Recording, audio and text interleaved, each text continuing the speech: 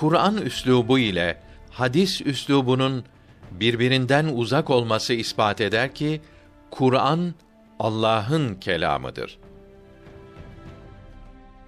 Kur'an-ı Kerim'i Allah'tan bize getiren Hazreti Peygamber olduğu gibi onu tebliğ eden de bizzat kendisidir. Kur'an ondan zuhur ettiği gibi hadis de ondan zuhur etmiştir. Fakat dikkat edilirse Peygamber Efendimizin sallallahu aleyhi ve sellem Kur'an olarak tebliğ ettiği ilahi kelam ile kendisine ait olan hadisler arasında büyük bir fark olduğu görülür. Hem bu farkı anlamak için de alim olmaya gerek yoktur.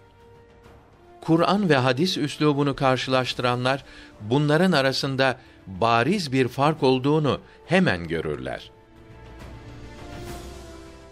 Eğer Kur'an kendisini inkar edenlerin dediği gibi bir beşer sözü olsaydı, Peygamber Efendimizin hadisleriyle Kur'an'ın üslubunun aynı olması gerekirdi.